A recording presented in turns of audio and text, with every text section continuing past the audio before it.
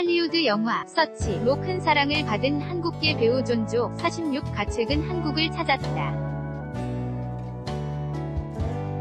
그는 내한 기간 라디오 등 각종 방송 프로그램에 출연해 한국 팬들에게 감사 인사를 전할 예정이다.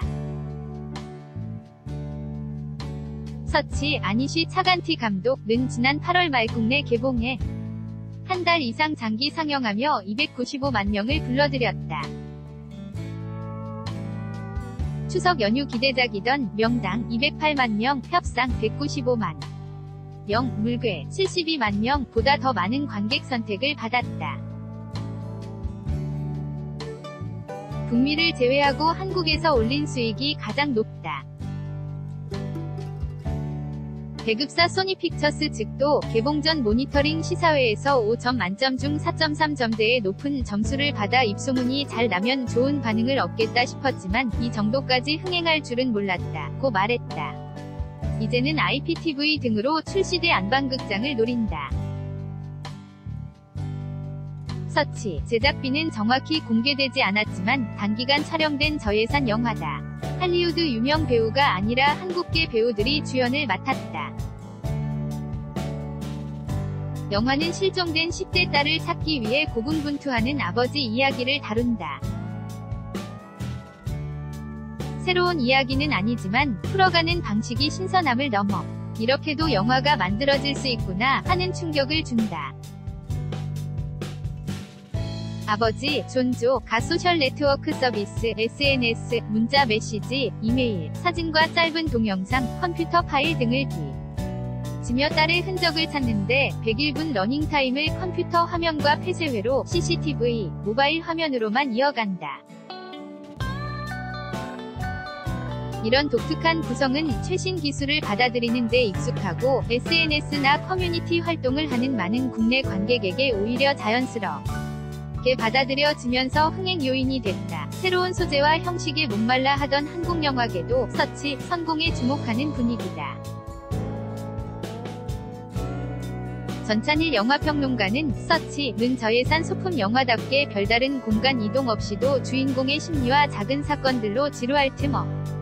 이 관객을 끌어들인다 면서 상대적으로 저예산 영화가 어떻게 관객을 흡입시킬 수 있는지 보여주는 좋은 예라고 평했다.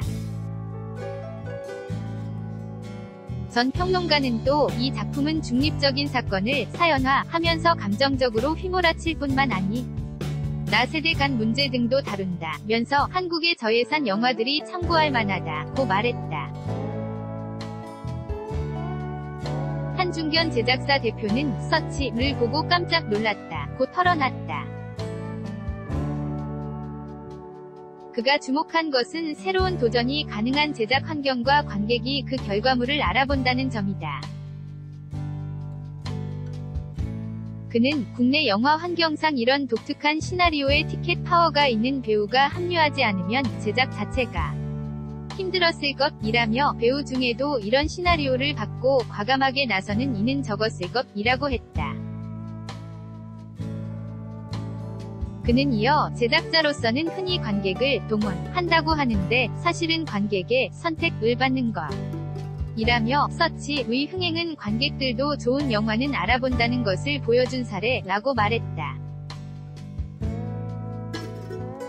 20편 이상 작품을 연출한 중견 감독 역시 요즘 시나리오를 받아보면 어디서 많이 봤던 장면들을 섞은 듯한 작품이 많다.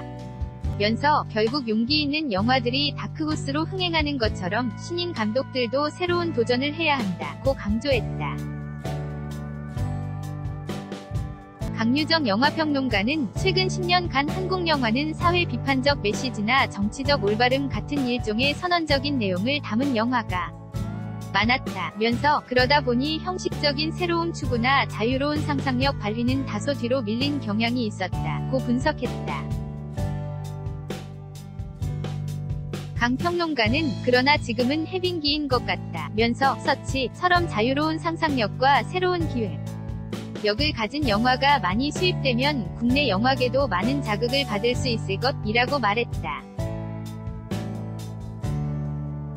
전문가들은 흥행 안전 만 지향하는 영화계 풍토가 바뀌어야 한다고 강조한다. 유성은 영화평론가는 최근 한국 상업 영화들은 완성도는 높아졌지만 신선도는 떨어지는 편. 이라며 제작비가 증가하다 보니 안전하게 가려는 경향이 더 짙어진 탓이라고 분석했다.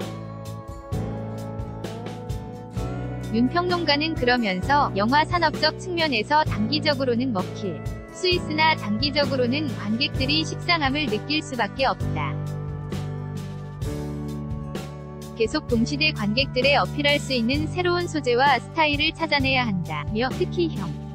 식적인 면에서 탐구가 돋보이는 저예산 영화들이 좋은 모델이 될 수 있다고 강조했다.